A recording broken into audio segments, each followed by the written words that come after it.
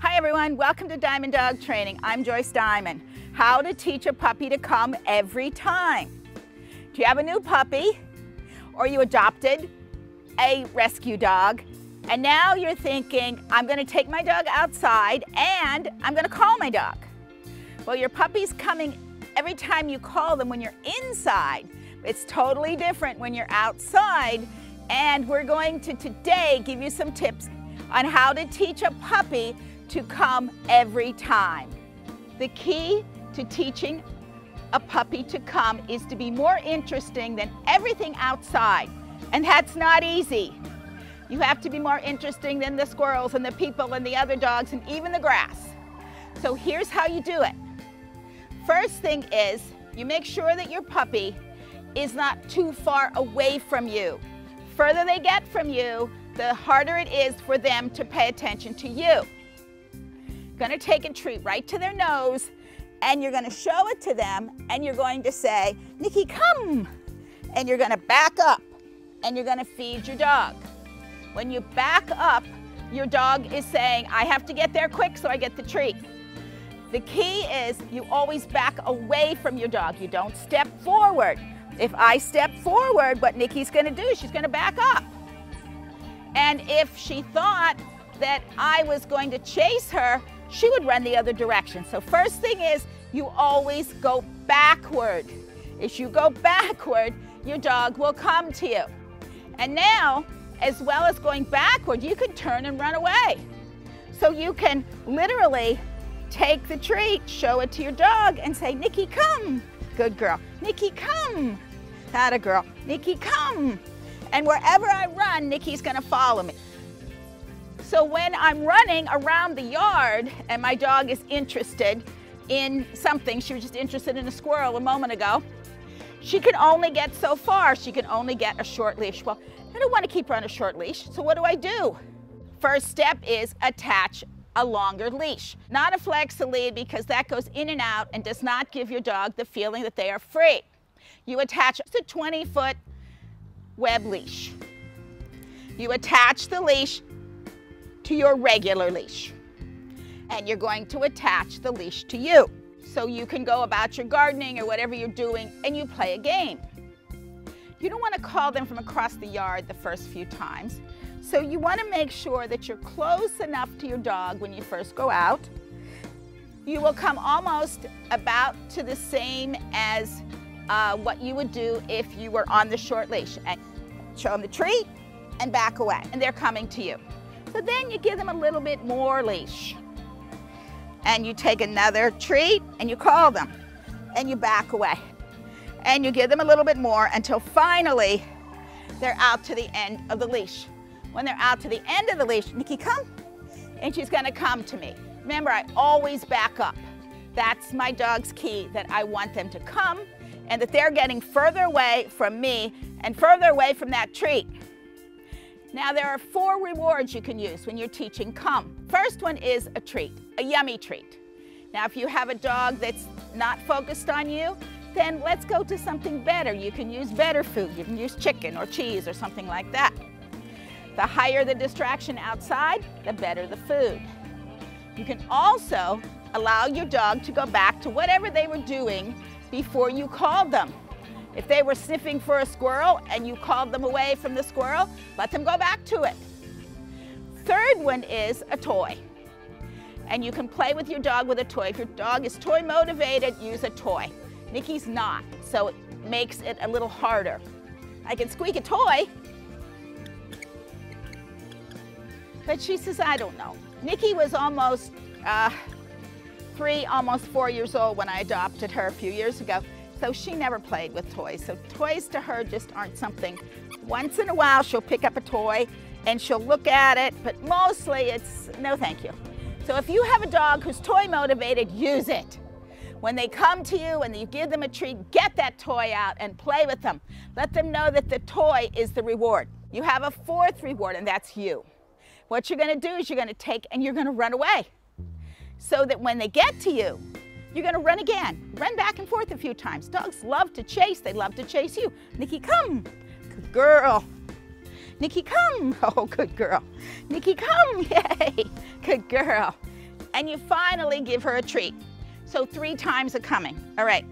But how do you get your dog to come every time? Well, here's where the key is.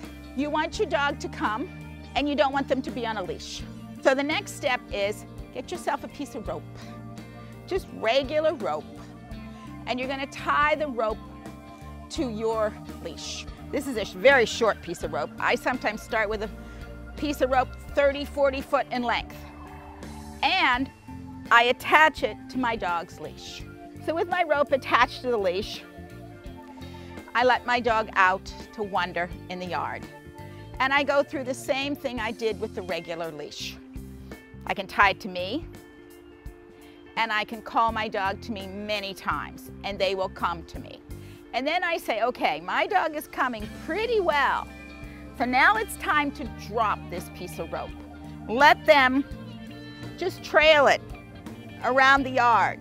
It's long enough that if my dog goes to run away, I can step on it anywhere along the rope or the leash to stop my dog.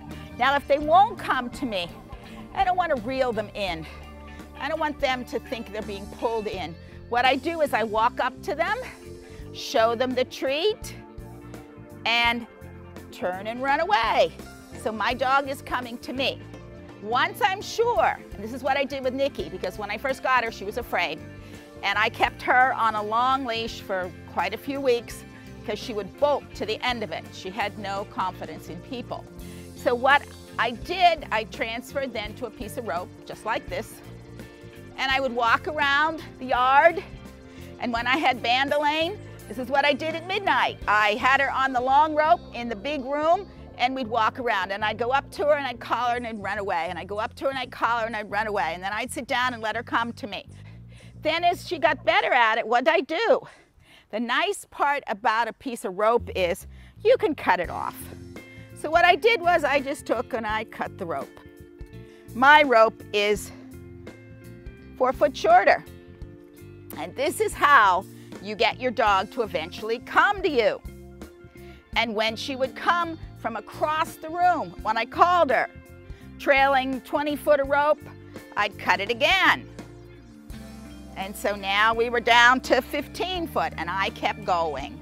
And I kept cutting it down until I had just her leash left and she was still coming to me. And so what did I do next? I untied it from her leash and I tied the rope. Nikki, come, good girl. Remember, every time you call her, you back up. I took her leash off and I attached this to her harness. So now what she's got on her is just about 10 foot of rope. And I let her wander around and I'd call her. She could run away if she wanted to. She'd go anywhere she wanted to. But she was coming every time I called her. Nikki, come, good girl. And I'm feeding her. So what did I do next? See, this is how you get your dog to finally come to you off leash. And I cut it off again. And now we're down to just about that length. I can give you a real quick story about a poodle lovely poodle, every time they said come, what she did was she ran the other direction. First we changed the word, we changed it to here. Then we had them stand in the house and walk up to her and call her. Then we started her with 50 foot of rope and we would call her. And when she came to us, we would feed her. Then we gradually shortened the rope. As the rope got shorter, she thought she was still on the leash, so she kept coming and coming and coming. So finally, we got to the point where we kept shortening the rope. Each time we shortened the rope, it was that much easier for her to run away if she wanted to. But each time I called her, she was coming. Same with that black, lovely black standard poodle girl. So, and we just kept cutting it down. This is what we did at midnight at Bandelaine until we got it shorter and shorter and shorter. So can you see how now there's no way I could catch her? She has a leash on that I could, couldn't even grab, but she's learned to come. And so when I call her every time, She comes to me. That's what you want. Nikki, come. Good girl. Till finally, it was time to release the leash. She's free. Now that takes a few weeks to do that. And when you're calling them, make sure you reward them. Always reward them. When my dogs hear the word come, they know that there's a reward coming. So, and sometimes it can be chicken, and sometimes it can be cheese, sometimes it can be those lovely uh, homemade dog treats that I make. But whatever you're doing, make sure that you're calling them and they're coming to you. This is how you teach a puppy to come every time.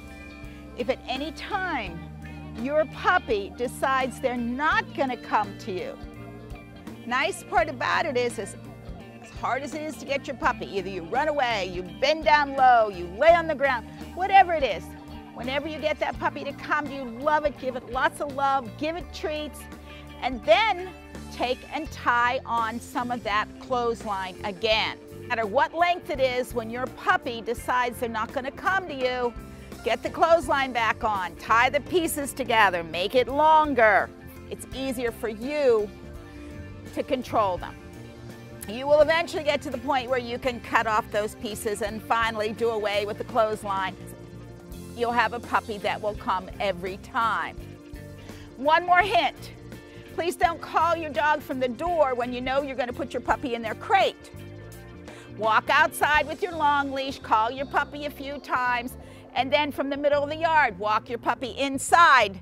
If you're going to put them in a crate, put them in a crate with a Kong or something fun to work on so that your dog knows that coming inside is fun. And one other tip, when you call them inside, take those few extra minutes, let them back outside.